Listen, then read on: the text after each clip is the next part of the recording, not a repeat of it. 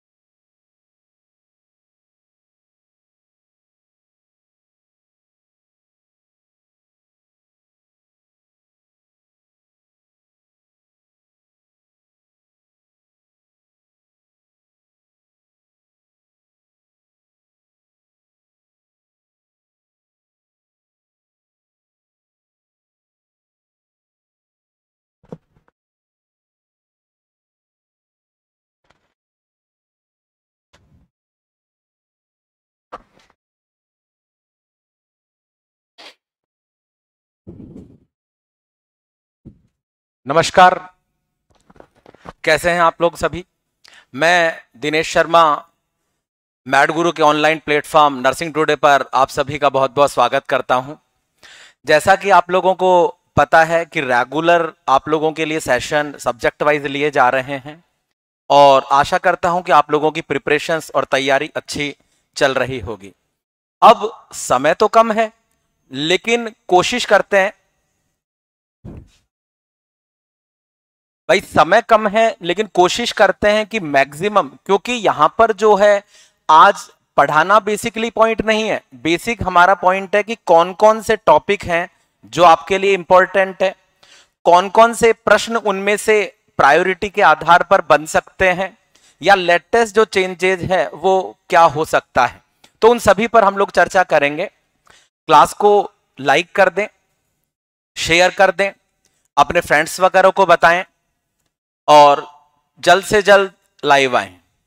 Good evening good evening Sanjay good evening बेटा, Mukul good evening pilot project अरे वाह super Singh, Anshul Anshul good evening बेटा good evening Abhijay good evening Surendra good evening बेटा। तो देखिएगा, समय हम ना खराब करते हुए क्लास को शुरू कर रहे हैं। मैं आपको बता दूँ कि सबसे पहले वो टॉपिक्स मैं लेकर के आऊँगा जो आपके लिए नॉरसेट के अंदर इंपॉर्टेंट हो सकते हैं और उसी के अंतर्गत मैं शुरुआत करने वाला हूँ। तो देखिएगा, सबसे पहले हाँ एक चीज़ और मैं आपको बता दूँ कि हो सकता है कि जितने भी प्रश्न हैं, उनको मैं ज़्यादा डेप्थ तक ना ले जा पाऊँ। लेकिन कोशिश यही रहेगी कि जो भी टॉपिक कवर किए जाएँ, उन टॉपिक्स के अंदर बेसिक जो बारीकियाँ हैं, जो आपको नॉर्थ सेट में ध्यान देनी है, उनके बारे में मैं आप लोगों को बताऊँगा। हाँ गुड इवनिंग बेटा। अब देखो, हम लोग शुरू कर रहे हैं, और शुरू कर रहे हैं तो आप पहले एक बार प्रश्न को देखते जाएँ, और देखने के बाद अपनी रेस्पॉन्स करें।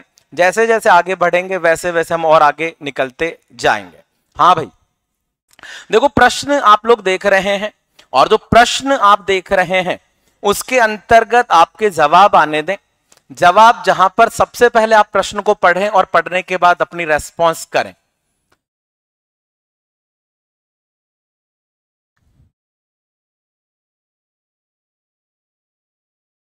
अरे, मैंने जो चीज़ बोली नहीं, उससे पहले प्रश्न लेकर के आ रहे हैं। बेसिकली पैरालिसिस पेशेंट के लिए अनअफेक्टेड साइड क्योंकि जिस साइड पर सेंसेशन ही नहीं है उस साइड पर सपोर्ट लगाने का कोई फ़ायदा नहीं होता है। इसलिए जब भी सपोर्ट लगाने की बारी आए तो जो स्ट्रॉन्ग साइट है, वहाँ पर पैरालिसिस पेशेंट में सपोर्ट लगाना चाहिए। चलो खैर, अब देखो यहाँ पर आपसे प्रश्न पूछा जा रहा है कि which of the following image observe in this भाई, ये जो आप देख रहे हैं, इसमें कौन सा आर्टिकल है जिसकी की इमेज हम लोग देख रहे हैं? अब बहुत बच्चे जो आंसर दे रहे हैं, कोई सी बोल रहा है, कोई बी बोल रहा है, कोई ए बोल रहा है, परी, ऑप्शन बी। देखो, ध्यान दीजिएगा कि जो भी पॉइंट आप यहाँ पर बोल रहे हैं, उनके अंतर्गत पहले तो आपको यह पता हो कि ये सारे के सारे होते क्या हैं।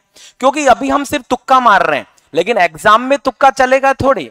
तो देखो, ध्यान दो कि भाई गुडल जो एयरवे आप बताते हैं, मैं एक एक का इमेज भी आपको बताऊँगा। अब जैसे आप ध्यान देना कि जो गुडल एयरवे आप बोल रहे हैं, ये बेसिकली आपका गुडल एयरवे है, जिसको कि हम लोग ओरोफेरेंजियल एयरवे के नाम से जानते हैं। अब ये आपको इमेज बेस्ड क्वेश्चन के अंतर्गत भी पूछा जा सकता है। ध्यान दें, ये बेसिकली गुडल एयरवे है जो आपके इमेज बेस्ड क्वेश्चन के अंदर आपको पूछा जा सकता है, और ये वो है जिसे कि हम ओरोफेरेंजियल एयरवे के नाम से जानते हैं। लेकिन आप यहाँ पे ध्यान से सुने कि ये जो आप यहाँ पर देख रहे हैं, जिसको कि हम बोल रहे हैं गुडल एयरवे। अब ये गुडल जो एयरवे आप बता रहे हैं, एक तो इमेज बेस्ड क्वेश्चन में आपको पूछा जा सकता है। ध्यान दीजिएगा कि एक तो इमेज बेस्ड क्वेश्चन के अंतर्गत आपको पूछा जा सकता है। दूसरा, इसके बारे में पूछा जा सकता है कि ओरोफेरेंजियल एयरवे किसे कहा जाता है। तो ओरोफेरेंजियल एयरवे ये गुडल एयरवे को ही कहा जाता है, पहली चीज़। दूसरी चीज़ आपने बताना है कि ये जो गुडल एयरवे आप यूज़ कर रहे हैं, इसके बारे में आपको बोला जा सकता है एडवांटेज ध्यान देना कि ये जो गुडल एयरवे है, इसका आपको बोला जा सकता है एडवांटेज कि गुडल एयरवे का एडवांटेज क्या है? या गुडल एयरवे जो यूज़ कर रहे हैं, इसका मुख्य फ़ायदा क्या है? तो आप यहाँ पे ध्यान दें कि ये जो टंग है, जीव है, उसको टर्न होने नहीं देता है और एयरवे को ब्लॉक होने से रोकता है। तो आपने यहाँ पर बताना है prevent reverse flow of tongue कि जो अनकॉन्शियस पेशेंट हैं, उसमें जीव के रिवर्स फ्लो को रोकता है। और एयरवे को ओपन करने में मदद करता है, जिसे कि ओरोफेरेंजियल के नाम से जानते हैं।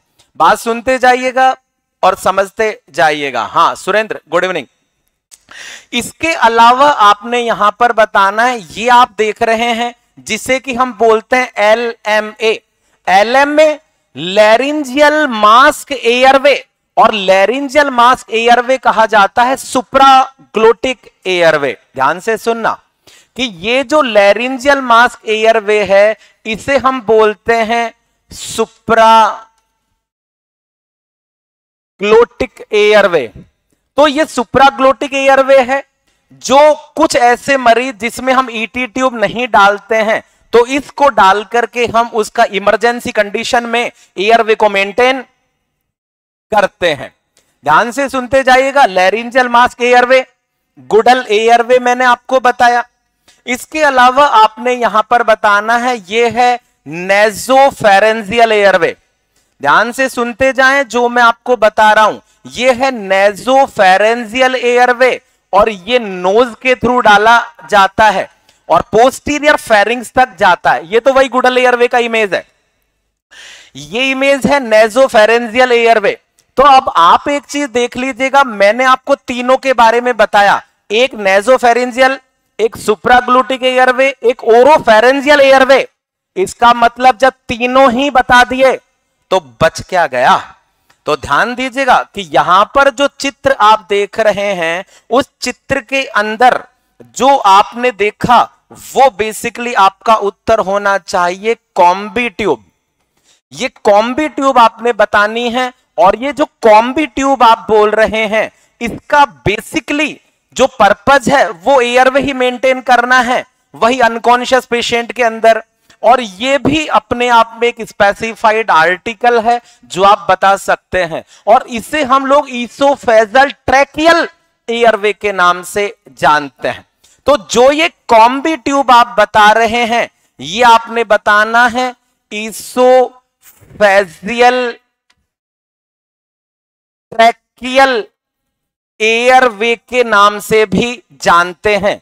तो ये कॉम्बी ट्यूब है। तो ये अलग अलग प्रकार के तरीके हैं जिनके द्वारा एयरवे को ओपन किया जा सकता है। लेकिन एक बात और बता दूँ कि ये तो वो तरीके हैं जिनको कि आप अलग अलग एयरवे बोल रहे हैं। लेकिन आपके एंडोट्रेकियल ट्यूब ये भी तो एयरवे को ओपन कर रही है। तो कहने का मेरा बेसिक मतलब है, बहुत से ऐसे तरीके हैं जिनके द्वारा एयरवे को ओपन किया जा सकता है। तो यहाँ तक आप बता सकते हैं तो हमने गुडल एयरवे के बारे में बताया सुप्राग्लोटिक एयरवे के बारे में बताया नेजोफेरेंजल के बारे में, और ये बेसिकली क्या कहला रही है कॉम्बी ट्यूब कहला रही है। बता सकते हैं यहाँ तक? अरे बता सकते हैं ना? हाँ गुड इवनिंग गुड इवनिंग चलो, आगे चलते हैं।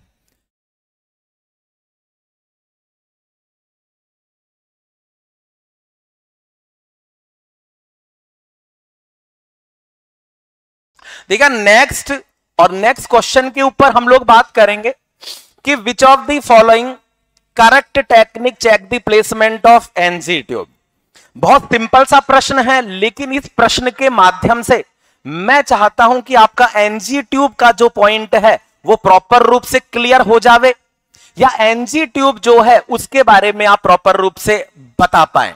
तो देखो, ध्यान से सुनना कि यहाँ पर सिंपल सा प्रश्न आपको बताया जा रहा है कि भाई विच ऑफ़ दी विच ऑफ़ दी मतलब ये जो लिख रहे हैं, इनके बारे में बोल रहे करेक्ट टेक्निक बताओ, जिसके द्वारा हम लोग पता कर सकते हैं प्लेसमेंट किसका प्लेसमेंट एनजी ट्यूब एक बार जवाब आने दो, फिर मैं आगे डिस्कशन करूँगा। हाँ आने दो जवाब बेटा। Option C pH of stomach content option B radiographic examination Manish, B, Shubham, B Tejal option A, Monu, option B, option A. हाँ, मैक्सिमम जो स्टूडेंट्स आंसर दे रहे हैं, अब है ऑप्शन ए। अब देखो, मेरी बात को ध्यान से सुने, कि आप यहाँ पर पूछा जा रहा है कि सबसे सही तरीका जिसके द्वारा आप एनजी ट्यूब का प्लेसमेंट चेक कर सकते हैं। तो सबसे पहले मैं आपको यहाँ पर बता दूँ कि एनजी ट्यूब का प्लेसमेंट अगर चेक करने की बारी आ रही है तो सबसे पहले आपको यहाँ पर यह पता होना चाहिए कि अगर हम प्लेसमेंट चेक करना चाहते हैं प्लेसमेंट ऑफ़ एनजी ट्यूब और एनजी ट्यूब के प्लेसमेंट को चेक करना चाहते हैं तो दो तीन चीज़ें आपके माइंड में आनी चाहिए। अब वो दो तीन चीज़ें क्या है, पहले वो आप समझ लीजिएगा। कि भाई सबसे पहले जब हम आंसर देते हैं और एग्जामिनर कहता है कि मुझे सबसे करेक्ट तरीका बताओ, या वो यहाँ पर कहता है कि सबसे एक्यूरेट तरीका बताओ तो वो तो क्या है आपका? एक्सरे। और एक्सरे का बेसिक मतलब है रेडियोग्राफिक एग्जामिनेशन। देखिए, ध्यान देना कि रेडियोग्राफिक एग्जामिनेशन हमारी सबसे पहली प्राथमिकता है, लेकिन कभी कभी एग्जामिनर यहाँ पर कहता है कि correct technique to check the placement of NG tube by nurse लेकिन जहाँ पर एग्जामिनर ने क्या लिख दिया है? नर्स लिख दिया है तो सबसे पहली प्रायोरिटी आएगी एस्पिरेट कंटेंट ऑफ़ एब्डोमन। ये आपकी प्राथमिकता हो जाएगी क्योंकि नर्स का काम एक्सरे करना नहीं होता है। बात समझ में आ रही है कि प्लेसमेंट देखना है, और अगर एक्यूरेसी की बात की जाए तो आपको पता होना चाहिए जहाँ नर्स का नाम आ गया। तो फिर आंसर क्या होगा? ध्यान देना, क्या होगा? Aspirate the content of abdomen लेकिन जहाँ नर्स नहीं लिख रहा है, तब आपका आंसर क्या आएगा बेटा? एक्सरे या आप बताओ। लेकिन अगर एग्जामिनर ऐसे ना बोल करके पूछे, और वो आपसे पूछे मोस्ट वाइडली मेथड अब देखो, अंतर सुनते जाइएगा, एक ही चीज़ में कितने प्रश्न बनते हैं। यहाँ पर एग्जामिनर कह रहा है कि मुझे बताओ मोस्ट वाइडली वाइडली का मतलब है वर्ल्ड वाइड कि दुनिया में अगर हम लोग ऐसा मेथड जिसके द्वारा एनजी ट्यूब का प्लेसमेंट देखते हैं तो मोस्ट वाइडली मेथड कहलाता है ऑस्कल्टेशन तो आप एक चीज़ सोचो, एक ही प्रश्न कितने तरीकों से पूछा जा सकता है? और बार बार मैं आपको बता दूँ, हमारा फोकस इस बात पे है कि एग्ज़ाम में प्रश्न किस प्रकार से पूछा जा सकता है। तो ध्यान देना, जहाँ पर एग्जामिनर कह रहा है एक्यूरेट बताओ तो एक्सरे या रेडियोग्राफिक। लेकिन एग्जामिनर कह रहा है, नर्स चेक कर रही है, फीडिंग देने से पहले तो फिर एस्पिरेट करेंगे। अगर एग्जामिनर कह रहा है कि वाइडली वर्ल्ड वाइड पूरी दुनिया में क्या यूज़ किया जाता है, तब आप बोलोगे ऑस्कल्टेशन और सीधा सीधा कहेगा कि पीएच कितनी है तो फिर पीएच आपने बतानी पड़ेगी कि भाई जो पीएच आप यहाँ बोल रहे हैं, उसमें हम कह सकते हैं 3.5 पीएच ऑफ़ एब्डोमिनल कंटेंट कि अगर एग्जामिनर सीधा सीधा बोल रहा है और एग्जामिनर अगर सीधा सीधा कहता है कि मुझे तो पीएच बता दो तो पीएच कितनी बोलनी है? तीन पॉइंट पाँच। तो या तो एग्जामिनर लिख देगा कि पीएच छह है, पीएच साढ़े छह है, पीएच साढ़े पाँच है, साढ़े चार है। तो ध्यान देना, जो चार से नीचे आ रही है, उसी पीएच को आप आंसर करोगे। और पीएच चेक करने का जो तरीका है उसको भी एग्जामिनर कह सकता है। जहाँ हम पीएच चेक करते हैं, उसे कहा जाता है स्ट्रिप टेस्ट तो आप सोचो, उस एनजी ट्यूब के प्लेसमेंट को चेक करने के इतने तरीके हैं कि आप ये बता ही नहीं सकते कि एग्जामिनर कहाँ से प्रश्न निकाल लेगा। तो आपको यह पता होना चाहिए कि एनजी ट्यूब को प्लेसमेंट देखना है और देखना है तो उसका बेसिक तरीका क्या होना चाहिए। अरे बात समझ में आ रही है ना? हाँ तो ये लिटमस पेपर ही है, जहाँ हम कहते हैं ना, नीला लिटमस पेपर लाल हो जाता है एसिड में, और नील, लाल लिटमस पेपर नीला हो जाता है बेस में। तो ये आप ध्यान देना, इस तरीके से भी प्रश्न पूछा जा सकता है। तो आपने यहाँ पर बताना है कि स्ट्रिप टेस्ट कर रहे हैं और स्ट्रिप टेस्ट कर रहे हैं तो पीएच कैसी आनी चाहिए? एसिडिक आनी चाहिए, लेकिन एसिडिक नहीं आ रही है। ध्यान देना कि पीएच जो है, वो एसिडिक आनी चाहिए, लेकिन एसिडिक ना आकर के, ध्यान दो पीएच अगर एसिडिक आ रही है, इसका मतलब ट्यूब पेट में गई हुई है। लेकिन मान लो एसिडिक ना आकर के बेस शार अगर पीएच आ रही है, इसका मतलब है कि आपकी जो ट्यूब है वो इंटेस्टाइन में पहुँच गई है। तो एग्जामिनर ये भी कह सकता है कि पेशेंट है और जब नर्स उसको पीएच चेक कर रही है और वो पीएच आ रही है एल के लाइन तो बताओ नर्स क्या सोच रही है? तो ध्यान देना, एसिडिक है तब तो सही है लेकिन अगर पीएच कैसे आ रही है? एल के लाइन आ रही है। इसका मतलब ट्यूब कहाँ पहुँच गई है? रीचेज इन इंटेस्टाइन तो आप सोचो, एक ही प्रश्न कितने तरीकों से पूछा जा सकता है? बार बार आपको यही बात बताने का प्रयास कर रहा हूँ। तो क्लास को लाइक करने में शेयर करने में कंजूसी ना करें और जो बच्चे क्लास में लेट आए हैं, क्लास को लाइक कर दें, शेयर कर दें और इसके अलावा जो इस चैनल पर नए आए हैं, वो इस चैनल को सब्सक्राइब कर दें, जिससे कि जो टीम इसके अंदर काम करने में जुड़ी हुई है, उनको भी इससे मोटिवेट मिलेगा। चलो खैर, यहाँ तक ध्यान दो। तो मैंने आपको ये कुछ पॉइंट बताए और दो तीन चीज़ें मैं आपको इसी के साथ बता देता हूँ।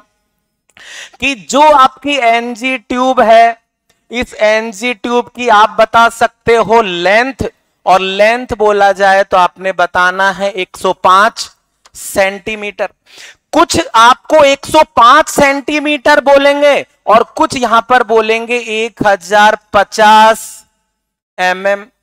मतलब एक ही है। ध्यान से सुनते जाओ कि 105 सेंटीमीटर या 1050 एम अगर आपको बोला जाता है तो यह आप कह सकते हैं normal length of NG tube तो यहाँ तक आप बताओ, इसके साथ साथ आपको यहाँ पर पता होना चाहिए कि जो एनजी ट्यूब है, उसके मीजरमेंट के बारे में। ध्यान देना, हाँ। इंच में बोले तो 42 और 42 को अगर हम कैलकुलेट करते हैं तो एक इंच ढाई सेंटीमीटर के बराबर है। तो ओवरऑल ललतेश हाँ। ओवरऑल आप बता सकते हैं 105 सेंटीमीटर क्योंकि अभी मैं ज़्यादा डेप्थ में नहीं जाऊँगा। क्योंकि अगर मैं यहाँ पर्टिक्यूलर ट्यूब को लेंथ बताने लग गया कि लेविन कितनी लेंथ में आती है सेंगेस्टन ब्लॉकमोर कौन सी लेंथ में आती है कैंटर एंड ट्यूब कौन सी लेंथ में आती है डॉब ऑफ़ ट्यूब कौन सी लेंथ में आती है। क्योंकि एनजी ट्यूब तो कई प्रकार की हैं, लेकिन उन कई प्रकार की लेंथ नहीं पूछी जाएगी। बेसिकली जो एवरेज पूछी जाएगी, वो एनजी ट्यूब और एनजी ट्यूब की लेंथ आप इतनी बता सकते हैं। बात समझ में आ रही है? अरे हाँ या ना तो बोलो। चलो, यहाँ तक आप बता सकते हैं। इसके साथ साथ आपने आगे बताना है कि जो एनजी ट्यूब डाल रहे हैं, उसके भी आप बता सकते हैं पर्पस देखो, ध्यान देना कि जो एनजी ट्यूब है, उसका पर्पस और पहला और इंपॉर्टेंट पर्पज है फीडिंग देना। अगर एग्जामिनर कहता है कि मुझे तो ये बता दे एनजी ट्यूब डालने का इंपॉर्टेंट पर्पज क्या है? क्योंकि एनजी ट्यूब तो गैस्ट्रिक लवाज के लिए भी डालते हैं। एनजी ट्यूब तो सैंपल कलेक्शन के लिए भी डालते हैं। एनजी ट्यूब तो ड्रग एडमिनिस्ट्रेशन के लिए भी डालते हैं। लेकिन ओवरऑल अगर एक शब्द में प्रश्न पूछा जाता है तो आपने बताना है कि फीडिंग देना और फीडिंग देने के लिए इंपॉर्टेंट रूप से क्या डाली जा रही है। ट्यूब तो आपने बताना है पर्पज और पर्पज में सबसे पहली प्रायोरिटी अगर पूछी जाए तो आपने बतानी है फीडिंग भाई, हम चाहते हैं कि मरीज़ को फीडिंग दी जाए, लेकिन एक बात और बता देता हूँ, बात सुनना। एग्जामिनर कई बार प्रश्न पूछता है, और आप देखना, आप लोगों को कोई कहेगा, ये एमएसएन का क्वेश्चन आ गया, और ये यहाँ से आ गया। अब आप ये कैलकुलेट ही नहीं कर पाते हो कि बेसिक जो क्वेश्चंस पूछे जाते हैं, वो फंडामेंटल ऑफ़ नर्सिंग से ही पूछे जाते हैं। जैसे एक छोटा सा एग्ज़ाम्पल लूँगा। एग्जामिनर कहता है कि what is the important purpose behind insertion of NG tube in duodenal ulcer अब स्टूडेंट कहेगा, अरे यार डीओडेनल अल्सर का क्वेश्चन आया है। अरे डीओडेनल अल्सर का नहीं आया है? वो कह रहा है डिओडेनल अल्सर में एनजी ट्यूब क्यों डाल रहे हो?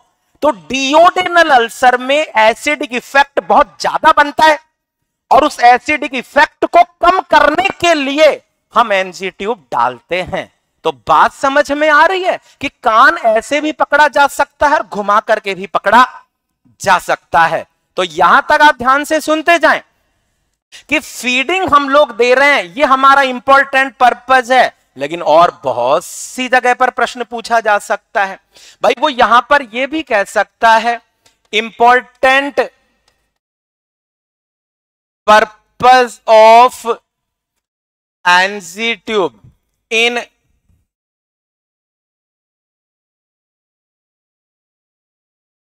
gastrectomy भाई गैस्ट्रेक्टोमी का मतलब है एब्डोमिनल का पार्ट निकाल देना या एब्डोमन को हटा देना।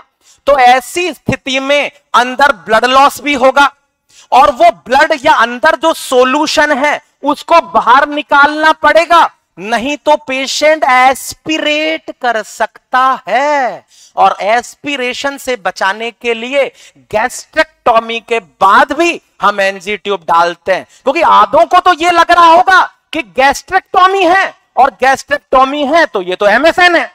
अरे भैया, आपको ये पता होना चाहिए, एम्स की गाइडलाइन आ गई है, और उसने कहा पचास परसेंट क्वेश्चन प्रायोरिटी के पूछूँगा, और पचास परसेंट प्रायोरिटी का मतलब फंडामेंटल ऑफ़ नर्सिंग। तो आपको यहाँ पे पता हो गैस्ट्रेक्टोमी तो सीधा सीधा आंसर कह सकते हैं to reduce risk of aspiration कि एस्पायरेशन की जो रिस्क है ना, उस एस्पायरेशन की रिस्क को कम करने के लिए हम लोग यहाँ पर गैस्ट्रेक्टोमी वाले पेशेंट में ट्यूब डालते हैं। अब प्रश्न तो यहाँ से और अनलिमिटेड है। मैं कह रहा हूँ ना, जितने पूछो उतने ही कम है। अब बात सुनते जाइएगा कि गैस्ट्रेक्टोमी और गैस्ट्रेक्टोमी में ट्यूब डाली डालने के बाद आपने उसको बाहर निकाला, जो अंदर गंदगी थी ब्लड लॉस था।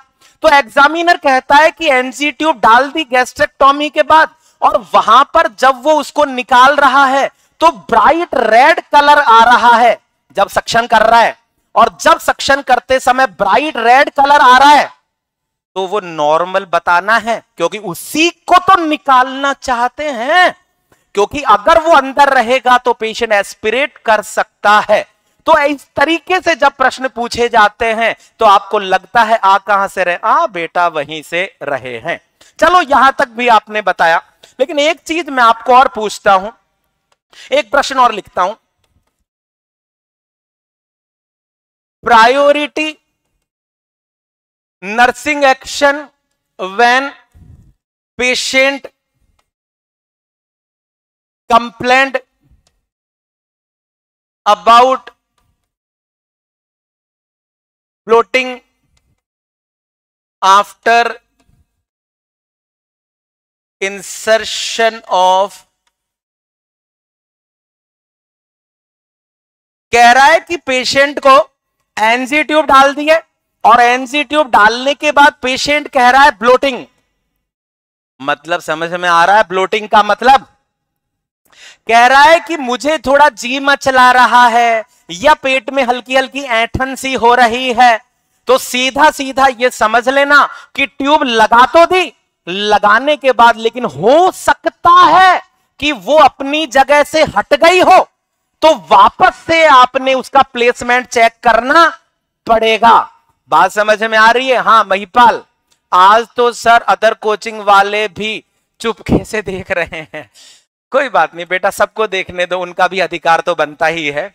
तो आपने यहाँ पर बताना है कि जब हम इंसर्शन करने के बाद भी कंप्लेंट है तो वापस से आपने बताना है चेक दी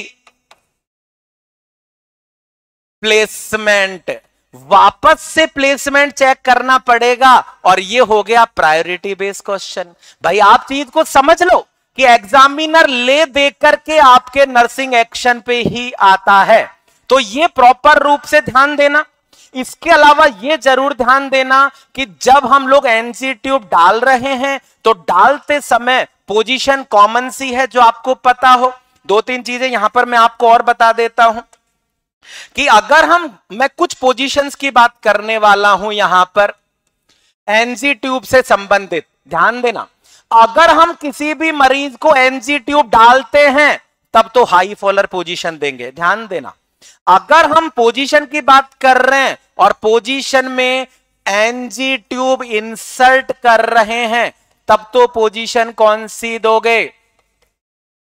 हाई फॉलर्स पोजीशन देंगे। लेकिन अगर हम उसको क्या दे रहे हैं?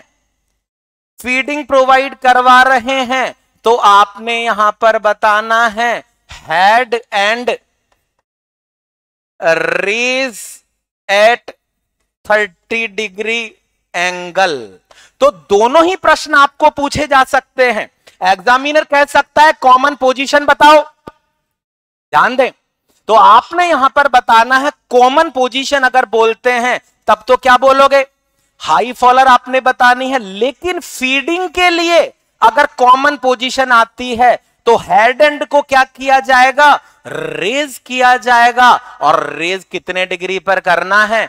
तीस डिग्री पर। क्यों?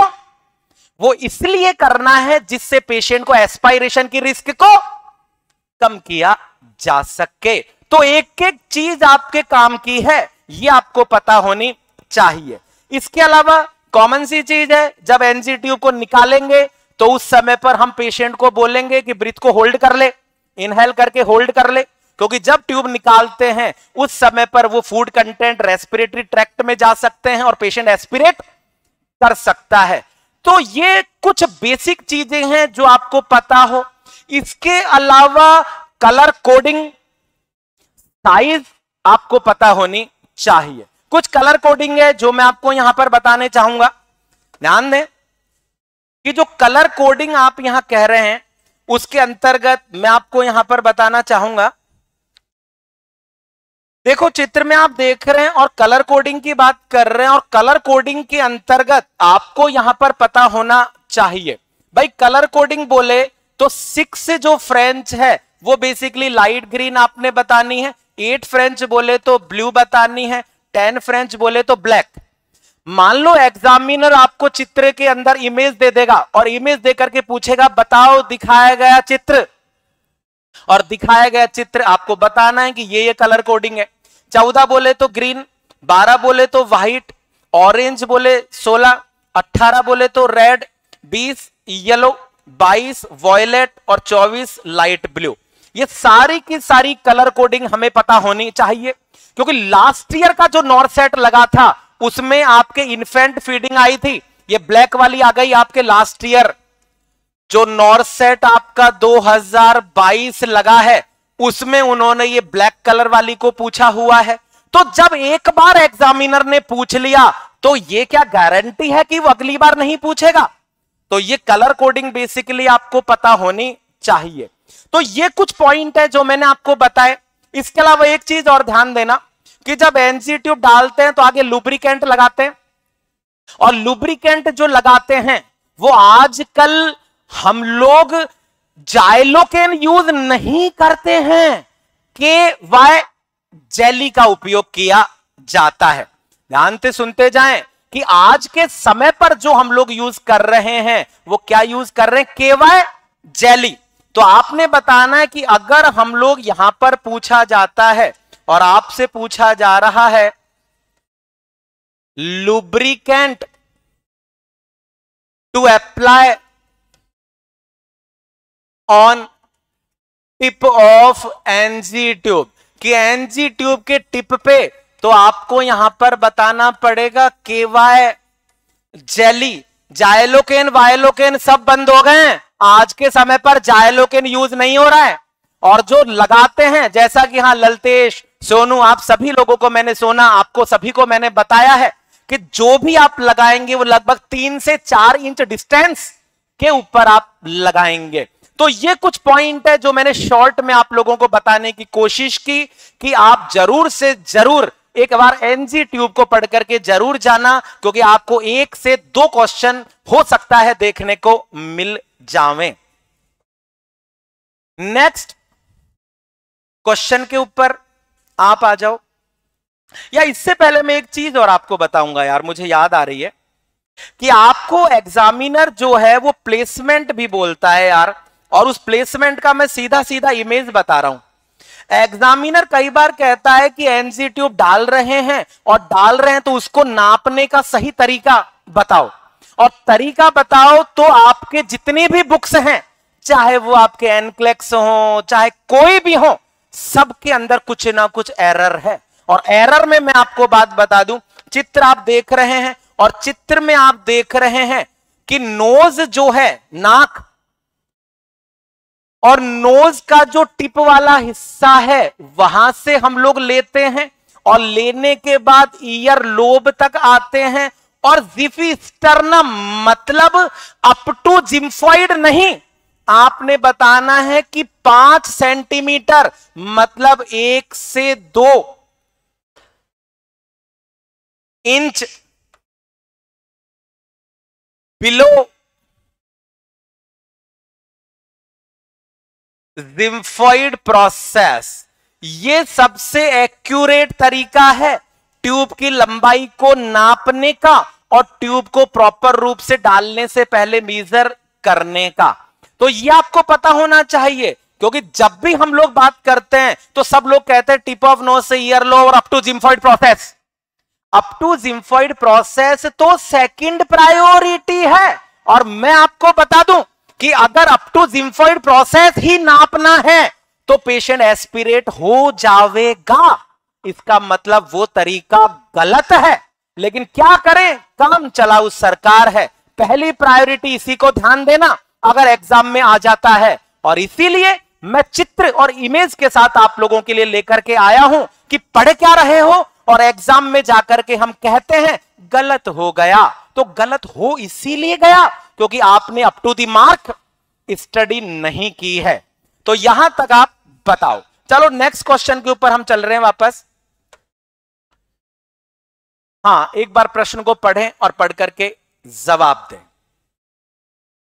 Sodium polystyrene sulfonate enema use in which of the following? हाँ चेतन वेरी गुड शाबाश, सूरज। बिल्कुल सही बोल रहे हो बेटा। देवराज वेरी गुड शाबाश। चलो। हाँ गुड इवनिंग गुड इवनिंग बेटा लेट हो। रीला, रीता सिंह। हाँ गुड इवनिंग बेटा। देखो, ध्यान देना, बहुत सिंपल सी चीज़ है, आपको बता दूँ कि यहाँ पर जो आप बोल रहे हैं sodium polystyrene sulfonate sodium polystyrene sulfonate, जिसे कि हम बोलते हैं Kayexalate enema. Sodium polystyrene sulfonate, जिसे कि कैक्सलेट एनीमा कहा जाता है, और कैक्सलेट एनीमा हाइपर कैलेमिया जब पोटेशियम लेवल बढ़ जाता है तो इस एनीमा को लगाया जाता है। तो सीधा सीधा ध्यान दें यह कह रहा है कि यह एनीमा कहाँ काम आता है? तो बेसिकली आंसर तो क्या हो गया है? हाइपर कैलेमिया में हम लोग इसका यूज़ करते हैं। लेकिन मैंने एक बात आपको बार बार बताई है कि उत्तर ढूंढना हमारा काम नहीं है। हमारा काम है कि दूसरा गलत क्यों है? और दूसरा गलत क्यों है? तो अगर किसी व्यक्ति को अमोनिया की टॉक्सिसिटी हो जाती है तो कौन सा एनिमल लगाओगे? हाँ बोलो शाबाश कि ये जो दूसरा ऑप्शन है अमोनिया की टॉक्सिसिटी तो अमोनिया की टॉक्सिसिटी में क्या लगाओगे बेटा? हाँ बताओ। तो आपने यहाँ पर बताना है लैक्ट्यूलोज एनिमा ये ध्यान देना, अगर अमोनिया की टॉक्सिसिटी होती है तो लैक्ट्यूलोस ओरली भी दे सकते हैं एनिमा के थ्रू भी लगा सकते हैं, जैसे हिपेटिक एनसीफेलोपैथी लीवर की डिज़ीज़ हो गई है और अमोनिया की टॉक्सिसिटी बढ़ गई है तो हम लोग लैक्ट्यूलोस एनिमा लगाते हैं। और आगे आपने बताना है गैसियस डिस्टेंशन तो आप यहाँ पे बता सकते हैं। कार्मी नेटिव एनिमा लगाते हैं, जिससे कि हम लोग एंटी स्पासमोडिक एनिमा के नाम से भी जानते हैं। इसके अलावा सॉफ्टनिंग ऑफ़ द स्टूल तो आपने बताना है ऑयल एनिमल लगाया जाता है। तो कहने का मकसद है कि उत्तर देने से पहले हमें यह पता होना चाहिए कि दूसरा आंसर क्यों नहीं है और नहीं है पर पहले फोकस करो। क्योंकि आपको अगर यह पता चल गया कि आंसर क्या है तो उससे अच्छा है कि नहीं है पे जाओ। और जब यह पता होगा, तब तो कोई दिक्कत वाली बात है ही नहीं। इसके अलावा कुछ दो तीन चीज़ें हैं जो मैं आपको एनिमा, क्योंकि ये टॉपिक मेरा उद्देश्य था कि इस प्रश्न के थ्रू आपका जो एनिमा है, वो बेसिकली मैं कवर करना चाहता था। अब सुनो, कि आपने यहाँ पर एनिमा के बारे में बताया तो दो तीन चीज़ें मैं आपको पहले बता देता हूँ, जो एनिमा से संबंधित आपको पूछी जा सकती है। जैसे आपने यहाँ पर लिख तो दिया और बता तो दिया, लेकिन मान लो एग्जामिनर कहता है कि lactulose enema is example of वो आपको यहाँ पे कह सकता है रिटेंशन एनिमा वो आपको यहाँ पे कह सकता है मेडिकेटेड एनिमा, वो आपको कह सकता है सिंपल एनिमा, या वो एग्जामिनर आपको बोल सकता है इवैक्यूएट एनिमा। अब देखो जैसे जैसे हम आगे जा रहे हैं, उसी तरीके से आपके पॉइंट और ज़्यादा डेप्थ में जाते चले जा रहे हैं। ध्यान से सुनते जाइएगा। आप सिर्फ़ पढ़ाई पे फोकस करो, ये मत देखो कौन देख रहा है, कितने देख रहे हैं, उसको साइड में रखो। आप सिर्फ़ ये ध्यान दो कि जैसे जितने भी एनिमा यहाँ बता रहे हैं, जैसे कैक्सलेट एनिमा लैक्ट्यूलोज एनिमा, ये दोनों के दोनों एनिमा में सबसे पहली प्रायोरिटी किसको देनी है? रिटेंशन। रिटेंशन नहीं तो सेकंड प्रायोरिटी किसको देनी है? मेडिकेटेड तो कभी कभी एग्जामिनर रिटेंशन बोल देगा कभी कभी एग्जामिनर मेडिकेटेड बोल देगा, और आपको यहाँ पर पता होना चाहिए कि लैक्ट्यूलोज और कैटलेट दोनों के दोनों रिटेंशन पहली प्रायोरिटी रिटेंशन ना हो तो मेडिकेटेड बोलना है। सिंपल एनिमा तो जहाँ पर हम लोग सोप एंड वाटर यूज़ कर रहे हैं सैलाइन यूज़ कर रहे हैं सिंपल में हम लोग यूज़ करते हैं saline and soap and water. तो सैलाइन एनिमा तो यूज़ किया जाता है सर्जरी से पहले, बाउल को क्लीन करने के लिए। और सोप एंड वाटर यूज़ किया जाता है कॉन्स्टिपेशन में। तो दोनों चीज़ें अलग है बेटा। ध्यान देना कि अगर किसी व्यक्ति को कॉन्स्टिपेशन है तो साबुन पानी, और अगर सर्जरी से पहले बाउल को क्लीन करना है तो सैलाइन, जिसे कि आइसोटॉनिक एनिमा भी बोलते हैं। तो ये बताओ, और इवेक्वेंट में तो आपके सारे ही आ रहे हैं, जैसे ग्लिसरीन एनिमा। इवेक्वेंट में तो सारे ही आ रहे हैं, जो हॉस्पिटल में यूज़ करते हो ना पीसी एनिमा ग्लिसरीन एनिमा तो ये सारे के सारे आपके इवेक्वेंट एनिमा में आते हैं। तो यहाँ तक आप बता सकते हो हाइट वगैरह ज़रूर ध्यान देना केन की, जो मैंने आपको पहले भी बताई है। कि एनिमा और एनिमा की जो केन या जनरली हम लोग बोलते हैं आईव स्टैंड। आईवी स्टैंड जो है, उसकी आपको पूछी जाती है हाइट। और हाइट जो है, रेंज तो है 12 से 18 इंच। लेकिन अगर ऑप्शन में दोनों ही आते हैं तो सबसे पहली प्रायोरिटी किसको देनी है? 18 बेटा देखो, ध्यान से सुनते जाइएगा कि जहाँ पर आपको एग्जामिनर कहता है कि what is the height of IV stand maintain by the nurse during the enema अगर रेंज बोलता है तब तो 12 से 18 लेकिन अगर एग्जामिनर कहता है 12, 18, 24 तो 12 भी नहीं जाएगा 24 भी नहीं जाएगा। और पहली प्रायोरिटी किसको दोगे? 18 जहाँ रेंज आ रही है तब तो दोनों लिख दो। लेकिन 18 को आपने कौन सी प्रायोरिटी पर रखना है? फ़र्स्ट प्रायोरिटी और ये बेसिकली जो आप बताते हो, किसके लिए बता रहे हो? एडल्ट अब देखो, ध्यान से सुनते जाना। जैसे जैसे हम आगे जाएँगे, वैसे वैसे टॉपिक और ज़्यादा डेप्थ में चला जाएगा। कैसे? ध्यान दो। अगर एग्जामिनर कहता है कि मुझे बताओ हाइट एवरेज कितनी है एनीमा की तो 18 इंच बोलनी है। लेकिन कहता है कि एक पेशेंट है जिसको एनीमा के दौरान क्रैम्प्स आ रहे हैं। तो ऐसी स्थिति में उसकी हाइट होगी 12 इंच और ऐसे एनीमा को कहा जाता है लोअर एनीमा तो ध्यान देना, ये तो रेगुलर हाइट है, लेकिन अगर एग्जामिनर कहता है कि लोअर एनीमा लगाना है, और लोअर एनीमा का मतलब ऐसा मरीज़ जिसको पेट में ऐठन हो रही है तो हाइट को कम करेंगे, और कम करने के लिए फिर आंसर कितना आएगा? 12 इंच। अब एक ऐसी चीज़ बताता हूँ जो आपके बुक्स में अवेलेबल नहीं है। अवेलेबल वही है जो मेरा स्टूडेंट है, कहीं पढ़ा रहा है।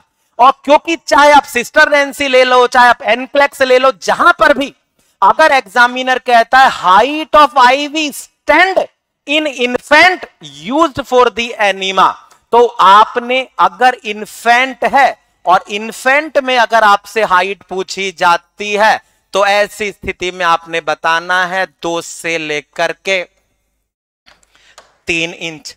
तो देखो अंतर, एक ही प्रश्न कितने तरीकों से आपको पूछा जा सकता है। ऐसा नहीं है कि आपने रट लिया कि मैं तो 12 से 18 बताऊँगा, लेकिन एग्ज़ाम में जाकर सभी कुछ निकल गया। क्यों? क्योंकि हमने प्रॉपर रूप से उसकी तैयारी नहीं की है। तो मैं आपको कुछ टॉपिक्स हैं जो रिवाइज करवा रहा हूँ। जिसमें एनिमा के बारे में बात कर रहा हूँ। चलो यहाँ तक आपने बताया। इसके अलावा आप यहाँ पे ध्यान दो कि जो हम लोग एनिमा लगाते हैं, उसमें रेक्टल कैथेटर इंसर्ट करते हैं। अरे करते हैं ना। और रेक्टल कैथेटर जो हम लोग इंसर्ट करते हैं, उसकी आपने बतानी है depth of rectal catheter rectal catheter जो एनिमा के लिए लगाते हैं, उसकी डेप्थ हर बच्चे को पता है कितनी होती है, तीन से लेकर के चार इंच और जनरली ये किसके लिए बताते हैं हम लोग? एडल्ट के लिए। ये तो सभी लोग पढ़ा रहे हैं, लेकिन हम में और उनमें अंतर क्या है? तो वो अब मैं आपको बताता हूँ। एग्जामिनर आपको कह सकता है कि मुझे बताओ एनिमा कितनी गहराई तक जाएगा? और वो आगे शॉर्ट में लिख देगा from the internal sphincter of the rectum वो आपको यहाँ पे कहेगा कि एनीमा की डेप्थ कितनी होगी? अगर हम इंटरनल स्फिंक्टर से लगा रहे हैं तो इंटरनल स्फिंक्टर से तीन और एक्सटर्नल स्फिंक्टर से चार। तो ये जो तीन इंच है, ये कहाँ से है आपके? इंटरनल स्फिंक्टर और जब एग्जामिनर ये प्रश्न पूछता है तो उसी समय फिर तारे याद आते हैं। और ये चार इंच कहाँ से है?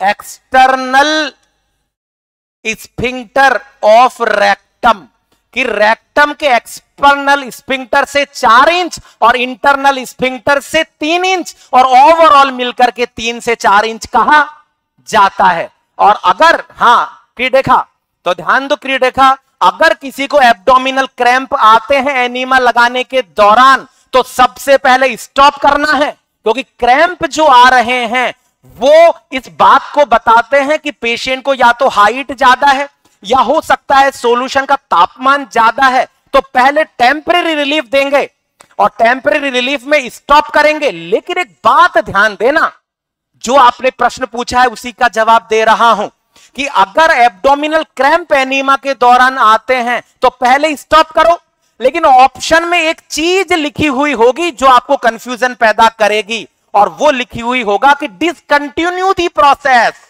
तो कभी भी डिसकंटिन्यू नहीं करना है, हमेशा स्टॉप करना है। डिसकंटिन्यू का मतलब है कि पूरे तरीके से हटा दो। और अगर पूरे तरीके से हटा दोगे तो क्या पेशेंट के बाउल को क्लीन कर पाओगे? इसका मतलब डिसकंटिन्यू नहीं करना है स्टॉप करना है। क्योंकि इन दोनों चीज़ों में भी स्टूडेंट कंफ्यूज हो जाते हैं। तो यहाँ तक ध्यान दो। अब ये दोनों तीनों पॉइंट ध्यान देना। अब देखो, कई बार एग्जामिनर है जो एग्जामिनर कहता है कि मुझे बताओ, एनीमा जो लगा रहे हैं, उसमें रेक्टल कैथेटर कितना लगाएँगे? तीन इंच चार इंच दो इंच तो फिर चार ही बोलेंगे। क्यों? क्योंकि बाहर से ही तो अंदर जाएगा। इसका मतलब एक्सटर्नल कैथेटर तो कवर होगा ना। और एक्सटर्नल कैथेटर कवर होगा तो बाहर की तरफ़ से ही हम लोग इसकी डेप्थ को नापते हैं। लेकिन एग्जामिनर पूरे तरीके से कंफ्यूज करता है तो ये आपको पता होना चाहिए। चलो यहाँ तक बता सकते हैं, और अगर बच्चा है इन्फेंट है तो एक से डेढ़ इंच आपने बताना है। लेकिन मैं आपको बता दूँ कि स्टूडेंट जब भी एग्ज़ाम देने जाते हैं, मैंने अभी क्या कहा था कि वो ये कैलकुलेट नहीं कर पाते हैं कि प्रश्न कहाँ से आया। जैसे एक बहुत छोटी सी चीज़ आपको बोलता हूँ। मान लो एग्जामिनर ने कहा कि what is the depth where nurse should insert the rectal catheter in a child तो आप जैसे स्टूडेंट अरे यार, पीडिया का क्वेश्चन होगा। अरे वो एनीमा पूछ रहा है मेरे भाई। वो पीडिया नहीं पूछ रहा। मुझे बताओ, जहाँ लिख दिया एग्जामिनर ने कि एक महिला है जिसको कि ड्रिबलिंग ऑफ़ यूरिन हो रहा है तो बताओ नर्स उसको क्या सलाह देगी? तो ड्रिबलिंग ऑफ़ यूरिन लंबे समय कैथेटर लगाने के कारण होता है और वो फिर ओबीजी का बन गया। वो फंडामेंटल का ही है बेटा।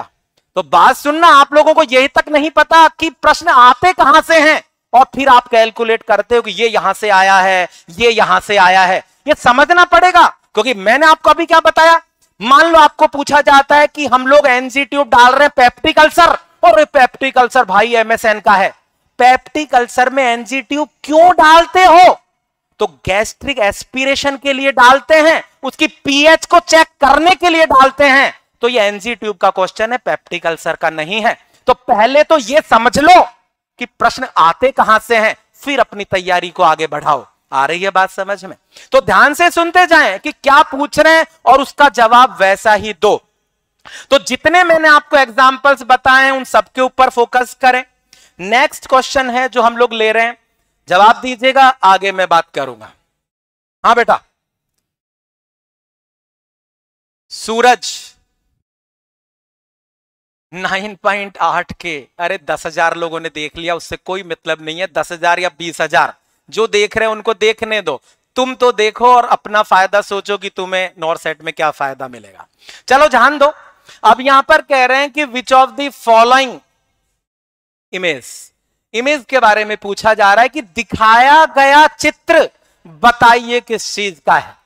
तो दिखाया गया जो चित्र आप बोल रहे हैं, आधे कह रहे हैं ऑप्शन बी आधे कह रहे हैं option A Himanshu option A Vikram Pradeep Devraj Sajil Roshan Pooja Vinay Kashyap Mukul Suraj Anjali Alush Thakur Sanjay बात सुन लो यार, थोड़ा मुझे भी बोलने दो, अब सुनो। जो चित्र हम देख रहे हैं, पहले मैं आपको यहाँ पर बता दूँ कि मैं दोनों तरीके से क्वेश्चन लेकर के चल रहा हूँ। आपने देखा होगा इमेज लेकर के आता हूँ फिर मैं रेगुलर उसके ऊपर बात करता हूँ। क्यों? क्योंकि एग्ज़ाम में इमेज आए, वो भी आपकी क्लियर हो जाए। उसके पर्पज इंडिकेशन आए, वो भी आपके क्लियर हो। कैसे? मैक्सिमम स्टूडेंट आंसर दे रहे हैं पिगटेल कैथेटर कुछ स्टूडेंट टीयूआरपी हाँ इंडियन राज अरे वेरी गुड नाम भी बड़ा धांसू रखा है। अब देखो, ध्यान दो कि यहाँ पर कह रहे हैं कि चित्र में कौन सा कैथेटर है। तो इसको समझने के लिए पहले आपको यह समझ में आना चाहिए कि ये क्या है, ये क्या है और ये क्या है। अरे तभी तो आंसर दोगे, क्योंकि बार बार आपको एक ही बात कह रहा हूँ कि गलत को बाहर निकालने की आदत डालो और जब गलत को बाहर निकालोगे तो उत्तर अपने आप मिलेगा।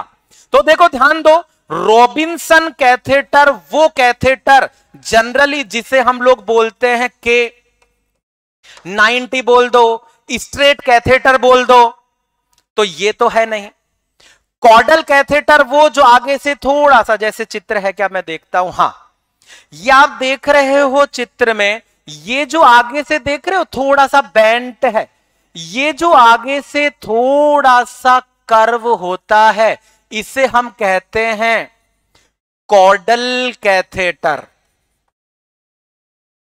तो चित्र आप देख लो, वो आगे से कर्व नहीं है। अरे बात सुनते जाओ कि यहाँ पर ये है आपका कॉडल कैथेटर। और ये जो चित्र में आप देख रहे हैं, ये है पिगटेल कैथेटर। पिगटेल कैथेटर जो स्पेशलाइज्ड उपयोग लिया जाता है, ध्यान देना कि ये जो पिगटेल कैथेटर है, ये स्पेशलाइज्ड उपयोग लिया जाता है। प्लूरल इफ्यूजन भाई, ये पिगटेल कैथेटर बहुत जगह पर काम आता है। पिगटेल कैथेटर किसी कैविटी से फ्लूड को बाहर निकालने के काम में आता है। चाहे वो प्लूरल इफ्यूजन हो, चाहे वो पैरासेंटेसिस हो, चाहे ओपन रीनल सर्जरी हो मेल में। तो इसका मतलब काम तो बहुत जगह आ रहा है पिगटेल कैथेटर, लेकिन जिसके काम अनेक तो प्रायोरिटी तो एक ही दोगे ना। तो प्रायोरिटी जहाँ पर आ जाएगी तो प्लूरल इफ्यूजन प्लूरल इफ्यूजन नहीं तो पैरासेंटेसिस में हम लोग इसको यूज़ करते हैं। और ये कॉडल कैथेटर यूज़ लिया जाता है। TURP transurethral resection of prostate कि प्रोस्टेट की सर्जरी के बाद हम लोग इसका यूज़ करते हैं। तो ये भी नहीं है। इसके अलावा आगे आपने बताना है नेक्स्ट और ये जो कैथेटर आप देख रहे हैं, इस कैथेटर को हम किस नाम से जानते हैं? तो आपने यहाँ पर बताना है,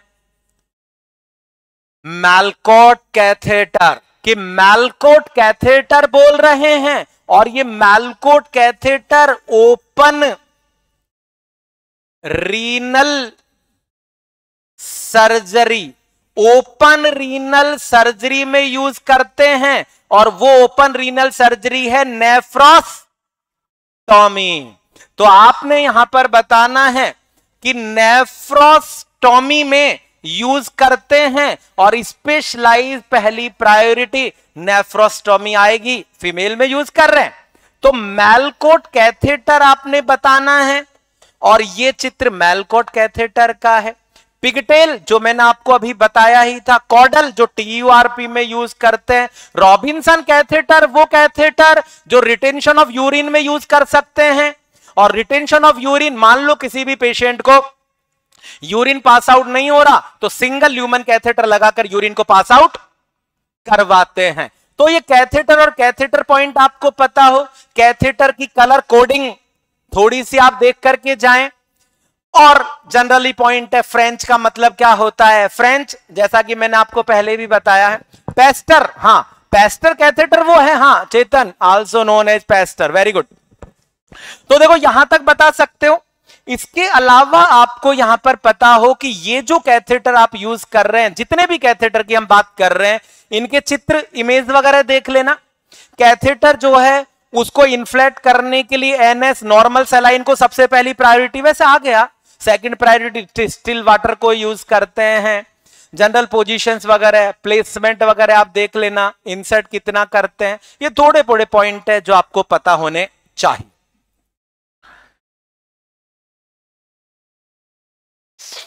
सिंपल सा प्रश्न है। कॉमन क्वेश्चन है, यहाँ से आ जाता है। हाँ, बताओ बेटा। देखो, यहाँ पर कह रहे हैं following site select for lumbar puncture किसके दौरान? स्पाइनल और स्पाइनल में बोला जाए तो पहली प्रायोरिटी किसको देनी है? एल थ्री एल फोर लेकिन अगर एग्जामिनर स्पाइनल नहीं लिखता है। ध्यान देना।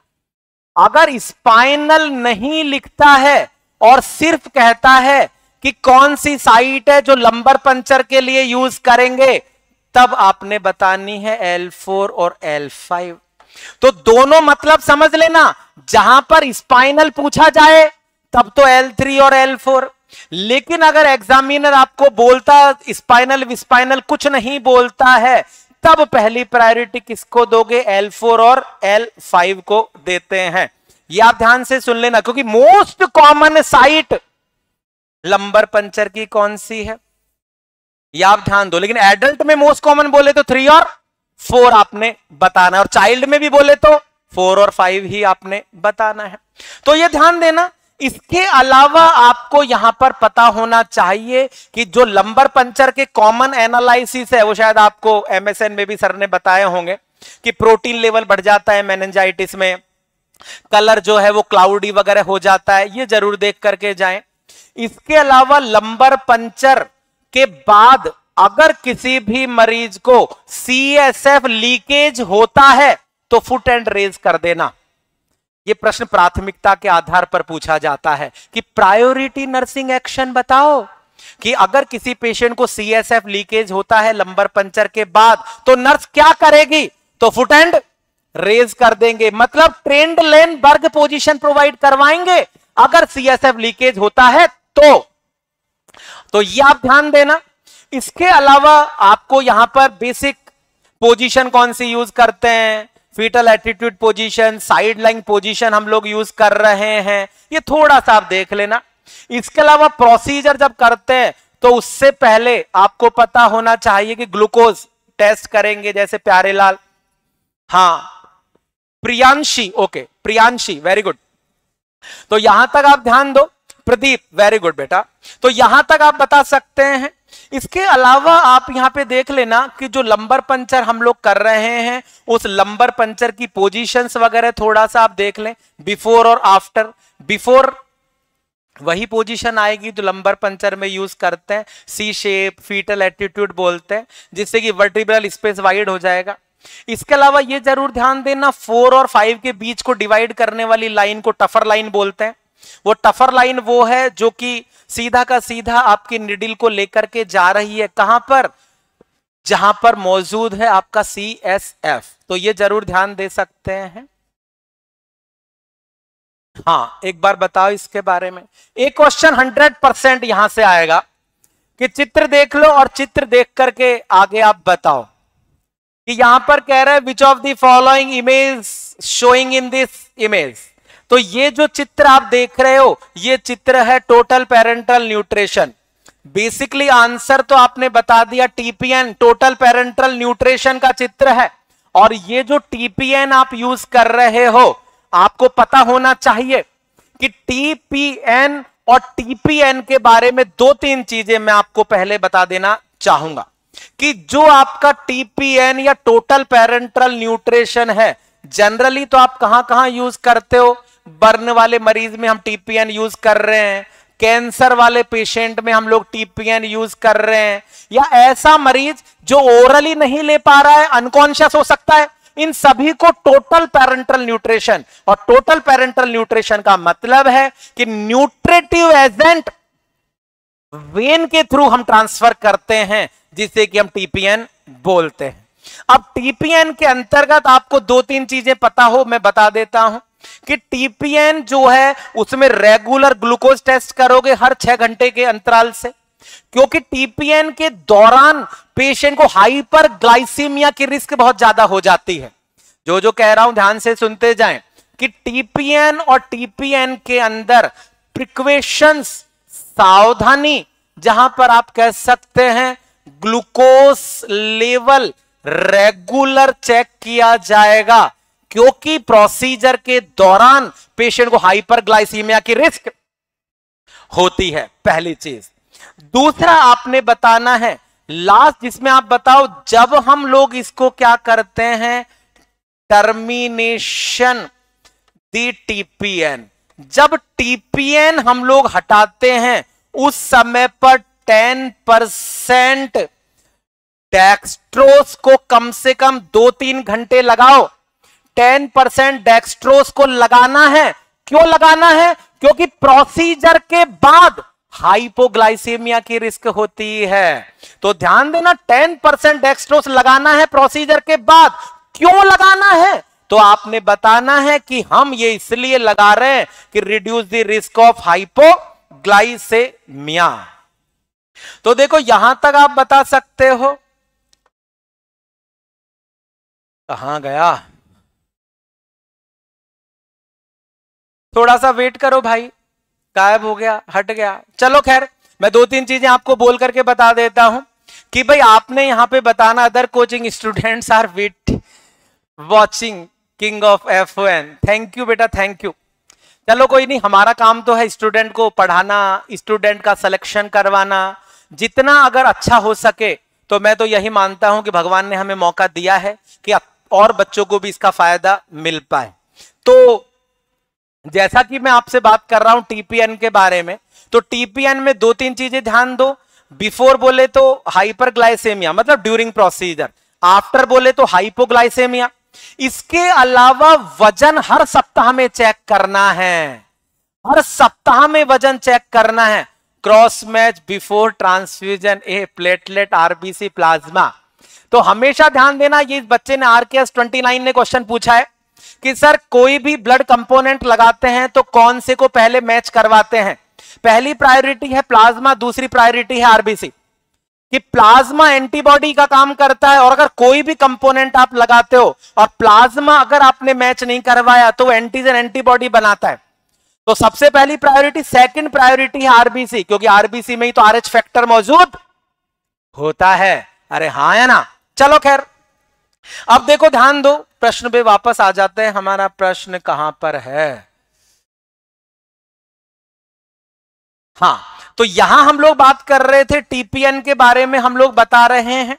तो टीपीएन आप बता सकते हो। इसके अलावा इमेज और देख लें आप। ये जो इमेज है, ये किसकी इमेज है बेटा? प्लाज्मा। और प्लाज्मा आपने बताना है चॉइस। इन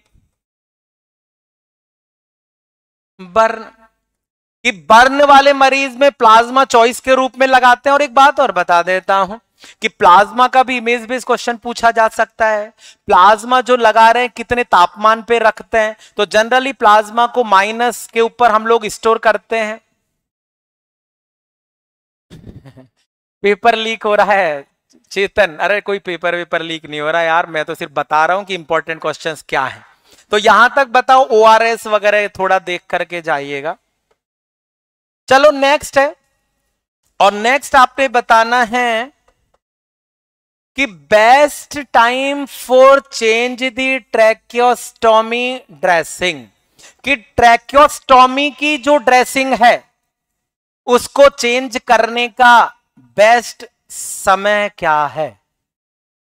ऐसा लग रहा है कि थोड़ा सा लाइक कमेंट और सब्सक्रिप्शन जो है, उसमें कंजूसी हो रही है।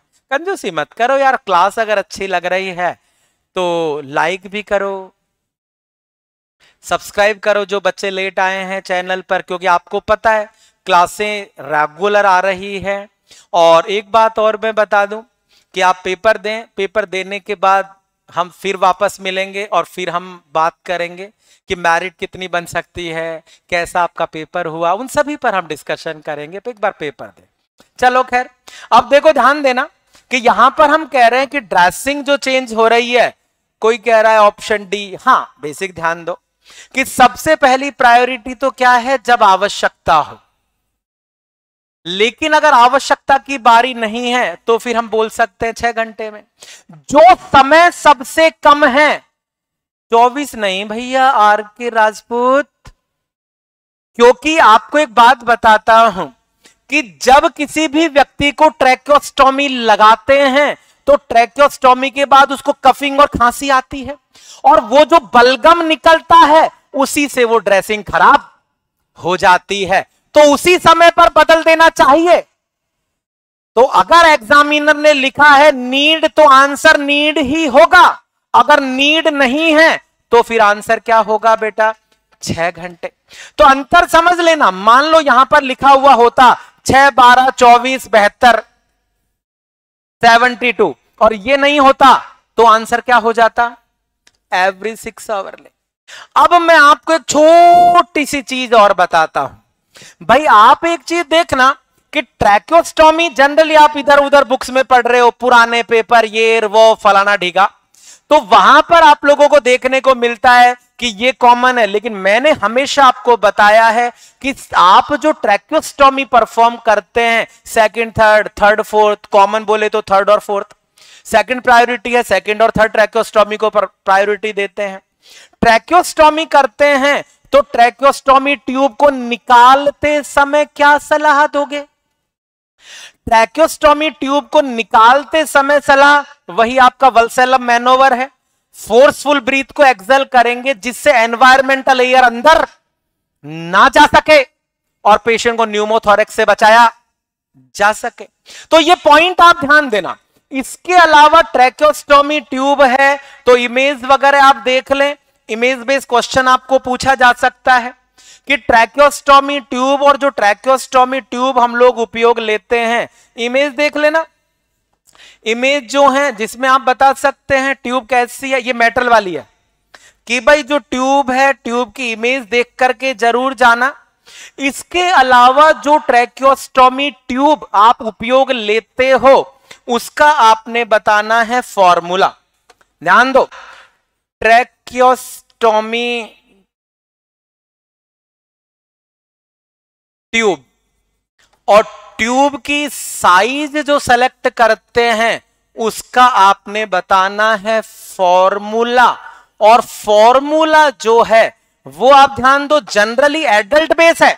क्योंकि तो और जगह पर तो रटा रटाया है. चौदह साल का है तो सात नंबर, बारह साल का है तो छह नंबर, दस साल का है तो पाँच नंबर जितने का है उससे आधे करते जाओ। लेकिन अगर वो एडल्ट है, तब आपने यहाँ पर बताना है age upon four plus four point five ये बेसिकली फॉर्मूला है। अगर एग्जामिनर कहता है कि मुझे बताओ साइज़ कौन सी है जो ट्रेक्योस्टोमी ट्यूब में उपयोग ली जानी चाहिए? उम्र के अनुसार एडल्ट बोल दे तो आप इस फॉर्मूले को यूज़ करोगे।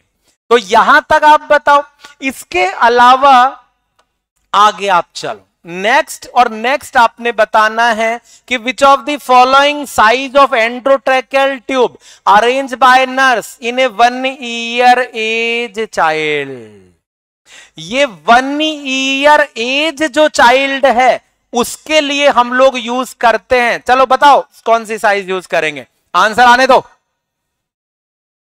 हाँ बोलो। हरकेश धौलपुर अच्छा नौ सेट दो हज़ार बाईस में आया है। चलो खैर, अब देखो ध्यान से सुनना कि जो प्रश्न यहाँ डिस्कशन हो रहे हैं, यहाँ पर आप ध्यान दो। कह रहे हैं कि एक साल का बच्चा और उस एक साल के बच्चे में, मैं थोड़ा सा कैलकुलेट कर दू।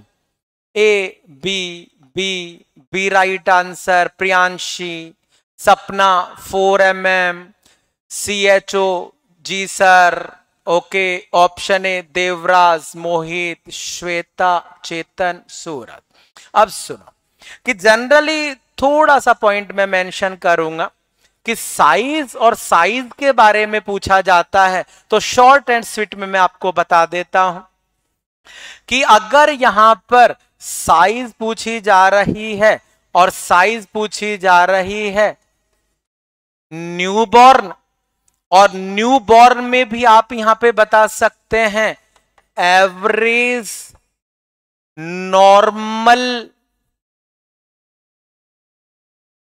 वेट देखो, दोनों तरीकों से ध्यान देना कि अगर एग्जामिनर कहता है कि नॉर्मल वेट के बारे में, और एग्जामिनर कहता है कि न्यूबॉर्न दोनों ही तरीके से। न्यूबॉर्न का एवरेज वज़न भी लिख सकता है। वो कह सकता है कि नॉर्मल वज़न है 2.8 किलोग्राम। किलोग्राम से भी पूछी जा सकती है। नॉर्मल वेट लिख करके भी पूछी जा सकती है। न्यूबॉर्न के नाम से भी पूछी जा सकती है। अगर ऐसा आता है, तब आपका आंसर आएगा 3.5 पॉइंट एम लेकिन अरे, आज क्या हो गया?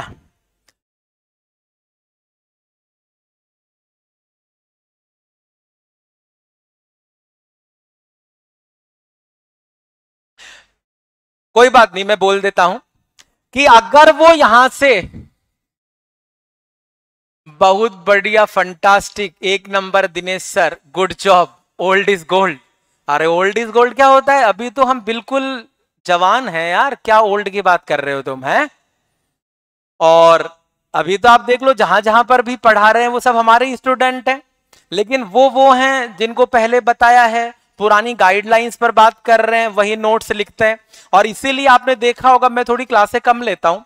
और क्लासे कम इसीलिए लेता हूँ कि जो लेता हूँ, वो फिर वहाँ पर कॉपी कर लेते हैं। और कॉपी कर लें, मुझे कोई तकलीफ़ नहीं है, लेकिन उसके बाद उसका एहसान तो माने। ये तो माने कि हाँ दिनेश सर ने पढ़ाया था, वही मैं लिख रहा हूँ। फिर कहते हैं, नहीं नहीं, हम तो दिनेश सर के स्टूडेंट नहीं है, जो दो दो, तीन तीन बार पढ़ चुके हैं और अलग अलग कोचिंग्स में पढ़ा रहे अब सुनो, यहाँ पर मैंने आपको बताया और हम लोग बात कर रहे हैं किसके बारे में? तो आपने यहाँ पर बताना है बेसिकली हम इस प्रश्न के ऊपर रुके हुए हैं और इस प्रश्न के अंतर्गत मैंने आपको यहाँ पर बताया है कि अगर आपको साइज़ पूछी जा रही है और साइज़ के अंतर्गत अगर एग्जामिनर आपको यहाँ पर कहता है, और अगर वो कहता है लो बर्थ वेट और लो बर्थ वेट बोलता है तो 2.5 एम एम आपने बतानी है। और अगर वो कहता है मैक्रोसोमिया ध्यान देना, आपको अगर वो कहता है कि एक ओबे मोटा बच्चा है जिसकी मदर डायबिटिक है और डायबिटिक है तो उसका बच्चा अगर मैक्रोसोमिया है तो फिर वहाँ पर आंसर क्या आएगा? फोर एम लेकिन ये तो किसके लिए है? जो ओबेज न्यूबोर्न चाइल्ड है या मैक्रोसोमिया है। लेकिन अगर ऐसे ना बोलकर अगर वो कहता है कि वन ईयर है या एग्जामिनर कहता है टेन किलोग्राम है तो फिर आपने सीधा सीधा कितना बोलना है? तो ये ध्यान दें कि इसी तरीके से एग्ज़ाम में प्रश्न आने हैं।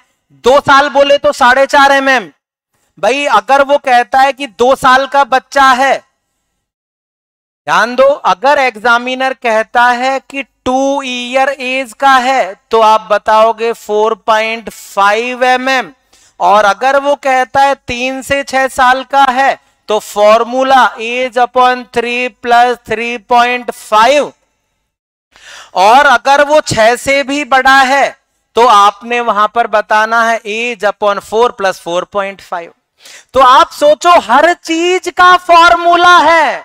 और हर चीज़ का फॉर्मूला है। सर, एक स्टूडेंट कौन सी कोचिंग में? हाँ सही है। पता है तुमको सब। चलो खैर, यहाँ तक आप बता सकते हैं।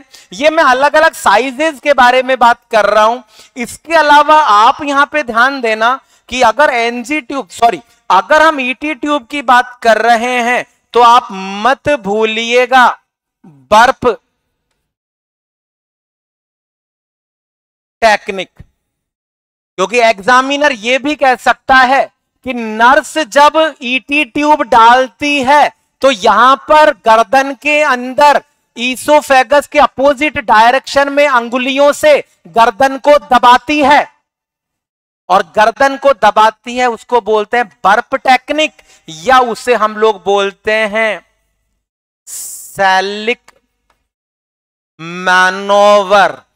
तो ये सैलिक मैनोवर ईटी ट्यूब डालने के दौरान यूज़ करते हैं। और ये क्यों यूज़ करते हैं? तो आप कह सकते हो टू प्रिवेंट ईसोफेगस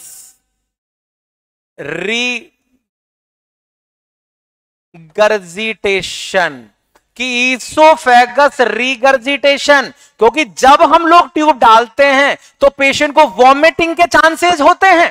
और ऐसी स्थिति में हम लोग जब उसको प्रेस करते हैं तो यहाँ पर ईसोफेगस रीगर्जिटेशन के चांसेस कम हो जाते हैं बैकवर्ड एंड अपवर्ड डायरेक्शन में करते हैं। वेरी गुड शाबाश। और क्यों करते हैं? जिससे एस्पायरेशन की रिस्क को कम किया जा सकता है। तो यहाँ तक आप बता सकते हैं, बर्फ़ टेक्निक बर्क मैनोवर हम बोल रहे हैं। इसके अलावा आपको यहाँ पर पता होना चाहिए फिक्सेशन करेंगे। तो किस टेक्निक से करेंगे? सक्शनिंग वगैरह के बारे में जनरल केयर थोड़ा सा आप देखना। ये चित्र देख लो इमेज देख लो। इसके अंदर अलग अलग चीज़ों के अलग अलग फ़ंक्शंस हैं। जैसे आप चित्र देख रहे हो और चित्र के अंदर ये एडेप्टर है, जिसकी साइज़ एग्ज़ाम में पूछी जाती है कि साइज़ क्या है, जहाँ पर हम एम्बू बैग या वेंटिलेटर सर्किट को कनेक्ट करते हैं। यहाँ से हम लोग एयर इनफ्लेट करते हैं। ये बेसिकली ट्यूब आप बता रहे हो। एग्जामिनर तो ये तक पूछ सकता है। कि जो हम ईटी e ट्यूब डाल रहे हैं, उसका depth how to measure ET tube in infant और चाइल्ड बेसिकली ललतेश, जो हम मीजर करते हैं, वो तो एक्सरे और रेडियोग्राफिक एग्जामिनेशन ऑस्कल्टेशन के द्वारा भी करते हैं, बहुत तरीके हैं। लेकिन ईटी e ट्यूब की डेप्थ और डेप्थ का पता कैसे चलेगा? वो है काम की चीज़। तो आपने यहाँ पर बताना है, डेप्थ के बारे में अगर बोला जाता है तो डेप्थ के बारे में एक चीज़ आप ध्यान देना। मैंने क्लास में पढ़ाई है और क्लास में मैंने बताया है, उसके भी फॉर्मूले हैं। अगर एंडोट्रेकियल ट्यूब को डाला जाता है, अगर उसको नाक के रास्ते से डालते हैं तो नेजोट्रेकियल और मुँह के रास्ते से डालते हैं तो ओरोट्रेकियल। और दोनों को डालने के अलग अलग फॉर्मूले हैं। अरे बात सुनते जाओ, हर चीज़ का फॉर्मूला है और बिना फॉर्मूले के तो हम बात करते ही नहीं है। मुझे लगता है कि आज तो दुश्मन बड़ा है मामला। चलो कोई नहीं मेंशन कर देता हूँ, लिख लेना, बात को समझ लेना। अगर हम लोग नेजोट्रेकल ट्यूब डाल रहे हैं तो age upon two plus twelve इतने सेंटीमीटर अंदर जाएगी। और अगर हम ओरल रूट के थ्रू डाल रहे हैं तो age upon two sorry age upon two plus twelve तो ओरल रूट के थ्रू है। Age upon two plus fifteen nasotracheal है। तो दोनों चीज़ें आप ध्यान देना कि किस तरीके से आपको पूछा जा सकता है। Manju tracheostomy patient oral care कौन सी पोजीशन में देंगे? अनकॉन्शियस अगर अनकॉन्शियस पेशेंट है तो हेड को राइट साइड टर्न करेंगे। अगर पेशेंट कॉन्शियस है तो हेड को 30 डिग्री के ऊपर हम रेज करेंगे। दोनों क्वेश्चन आपके एस में आए हुए हैं बेटा, और मैंने क्लास में पढ़ाए हुए हैं। चलो खैर, यहाँ तक आप ध्यान दो। इसके साथ साथ आगे आपने बताना है नेक्स्ट और नेक्स्ट जो क्वेश्चन है, उसके ऊपर आप एक बार फोकस करें। यहाँ पर हम कह रहे हैं कि match the following colour coding venturi and concentration की जो वेंचुरी मास्क है, और इसकी जो कंसंट्रेशन है, उसको मैच करो। तो देखो, ध्यान से सुनना। कि यहाँ पर कह रहे हैं ग्रीन और लास्ट में तो एक चीज़ है जो आपने पढ़ी या ना पढ़ी, जिसको हम क्या बोल रहे हैं? सीधा सा मतलब है कि निम्नलिखित में से कौन सा जोड़ा गलत है? सर, इन्फेंट में डेप्थ कैसे भरे नाप के डालते हैं यार मेरे भाई। चलो, यहाँ तक आप ध्यान दो। आगे आपने बताना है नेक्स्ट, और ये जो प्रश्न हम देख रहे हैं जिसमें आप देख रहे हो ग्रीन, रेड, व्हाइट, बेसिकली जो ऑरेंज है, इसमें होता है थर्टी वन परसेंट। तो कौन सा नहीं है तो आंसर क्या होगा? और ये सभी सही है। कहने का मकसद है, ग्रीन के साथ 60 परसेंट होती है, रेड के साथ 40 परसेंट होती है, व्हाइट के साथ 24 परसेंट होती है। चित्र एक बार देख लेते हैं। ये सारे के सारे वेंचुरी है कलर कोडिंग इनकी पूछी जा सकती है फ्लोर रेट इनकी पूछी जा सकती है। टाइम मत देखो सर। चलने दो। अरे यार क्या करें? कोई नहीं मैंने टॉपिक सारे तुमको टॉपिक भी तो मैंने लास्ट क्लास में बताए थे कि ये ये टॉपिक इंपॉर्टेंट है। वो टॉपिक एक बार और देख लेना आप लोग। तो ध्यान दो 24, 28, 31, 35, 40, 60 फ्लोरेट देख लो, दो लीटर, चार लीटर, छह लीटर, आठ लीटर, दस लीटर और पंद्रह लीटर। एक क्वेश्चन हंड्रेड परसेंट यहाँ से पूछा जाएगा। इसके साथ साथ ऑक्सीजन कंसंट्रेटर पर थोड़ा सा ध्यान देना। ऑक्सीजन कंसंट्रेटर वो आर्टिकल है जो कोविड में बहुत ज़्यादा उपयोग में आया है। और ऑक्सीजन कंसंट्रेटर वो आर्टिकल अगर किसी भी व्यक्ति को छह लीटर तक की ऑक्सीजन की ज़रूरत है तो ऐसी स्थिति में हम ऑक्सीजन कंसंट्रेटर घर पर ही लगा सकते हैं। उसके लिए मरीज़ को एडमिट करने की ज़रूरत नहीं होती है। हाँ, सही कह रहे हो, सही कह रहे हो, शायद वो मिसप्रिंट है। कोई बात नहीं, मैंने चित्र में दिखा दिया है। चित्र में आप देख लो कि यहाँ पर कह रहे हैं ये अट्ठाईस है, ये चौबीस है, ये इकतीस है तो ये थोड़ा सा आप देख लें।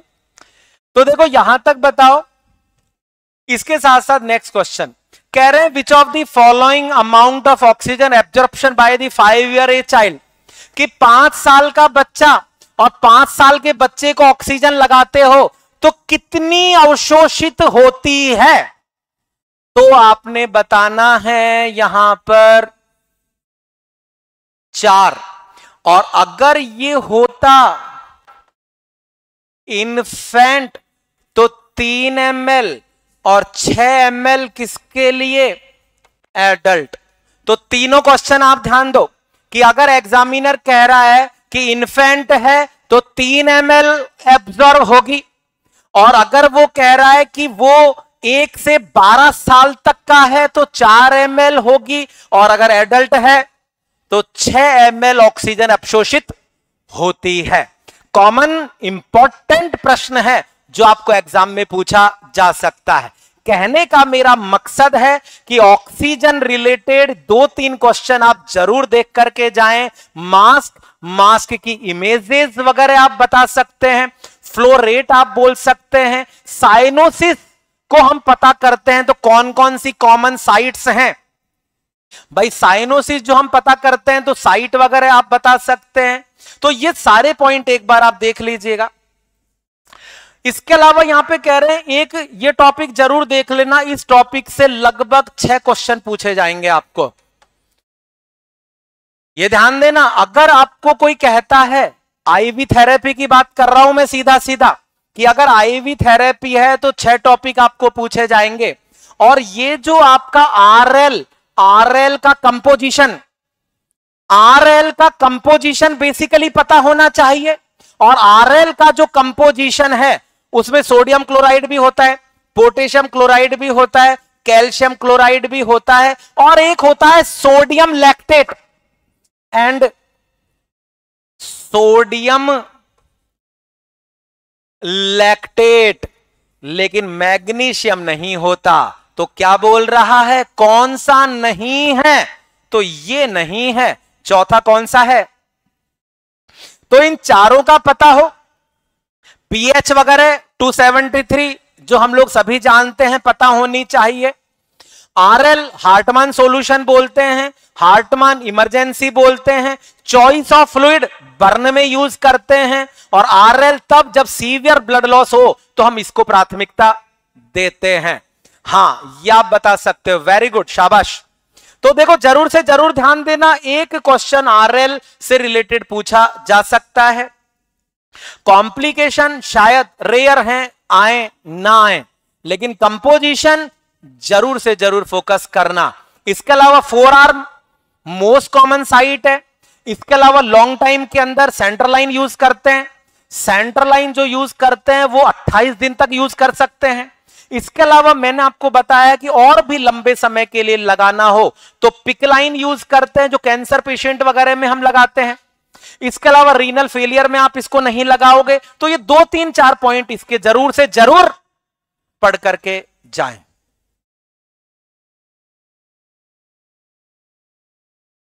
एक क्वेश्चन यहाँ देख लेना ऑक्सीजन का है। कह रहे हैं कि चित्र में दिखाया गया हुआ है क्या?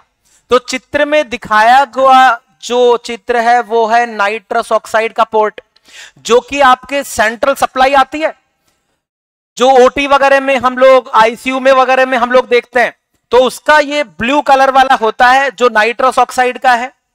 इसके अलावा जो और पोर्ट है, उनकी कलर कोडिंग में आपको बता देता हूँ। चित्र देख रहे हो?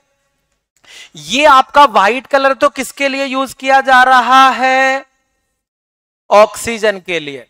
नाइट्रोजन या नाइट्रस ऑक्साइड के लिए ब्लू कलर जितनी भी मेडिकल गैसेज होती हैं, उनके लिए ब्लैक और ये जो आप देख रहे हैं, ये किसके लिए है?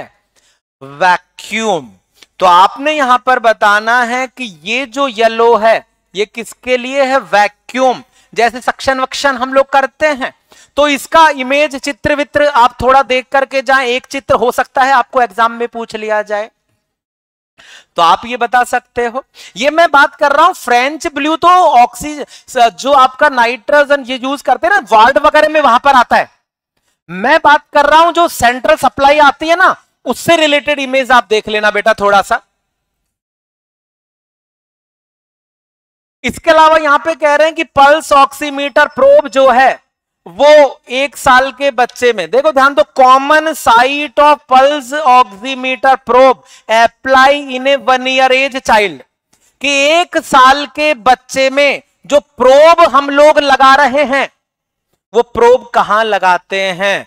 तो आपने यहाँ पर बताना है टो। ये हम लोग यूज़ करते हैं चाइल्ड के अंदर। इंडेक्स फिंगर, जो कह सकते हो, मोस्ट कॉमन साइट है। और ये मोस्ट कॉमन साइट सभी में यूज़ हो सकती है। स्पेशलाइज्ड यूज़ किसमें होती है? एडल्ट अगर एग्जामिनर कहता है कि what is the commonest site use for apply the probe of pulse oximeter तो इंडेक्स फिंगर और इंडेक्स फिंगर कन्वीनेंट साइट भी कहलाती है। तो यहाँ तक आप बता सकते हो। ईयर पिन्ना और ईयर पिन्ना कैसी साइट है? रिलायबल और कैसी साइट है? एक्यूरेट अगर आपने ऑक्सीजन कंसंट्रेशन की एक्यूरेसी पता करनी है तो फिर रिलायबल साइट, ईयर पिन्ना। और ईयर पिन्ना भी क्यों? क्योंकि ईयर पिन्ना पे कैपिलरीज की मात्रा सबसे अधिक होती है। और पेरिनियल एरिया वहाँ, जहाँ पर 99 परसेंट बर्न। अगर कोई भी मरीज़ 99 परसेंट जल गया है तो हम लोग पेरिनियल एरिया पर भी प्रोब लगा सकते हैं। तो आप एक चीज़ सोचो, हर पॉइंट में से प्रश्न पूछे जाते हैं। तो लाइक करने में शेयर करने में कंजूसी ना करें, अन्यथा गड़बड़ हो सकती है। चलो खैर, यहाँ तक आप बताओ। तो देखो, समय कम, अधिकतम उपयोग। अब यहाँ पर जो आप लोग देख रहे हैं चित्र में, वो थोड़ा सा आप देख लेना कि जैसे ये टोमे लगाया है ये आपने लगाया जैसे ये वाला जो इमेज है, ये लास्ट टाइम आपके नॉर्थ सेट 2022 के अंदर आ चुका है। वो आ चुका है तो ये आपके नॉर्थ सेट 2023 में आ सकता है। एक्सपेक्टेशन की बात कर रहा हूँ, ये नहीं कह रहा है आ सकता है। तो आपने यहाँ पे बताना, ये सब प्रोब के टाइप्स हैं अलग अलग प्रकार के प्रोब हैं, जिनको यूज़ किया जा सकता है। ये थोड़ा देख करके जाना ब्रेन सर्किट है।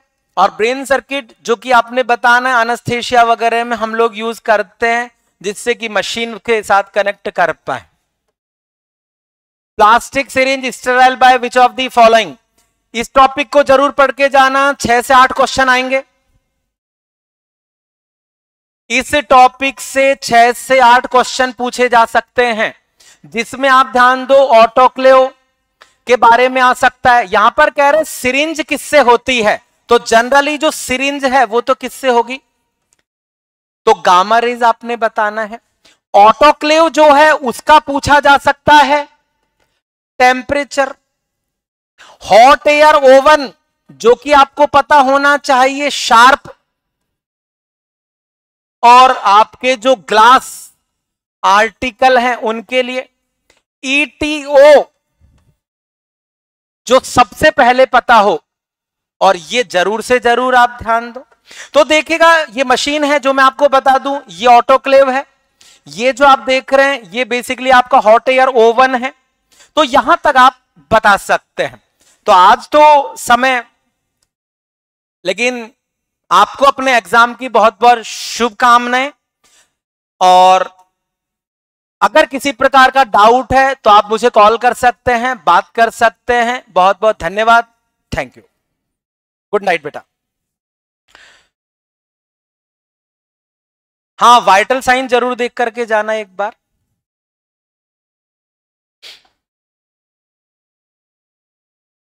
प्रश्न देख लो जो जो मैं निकाल रहा हूँ।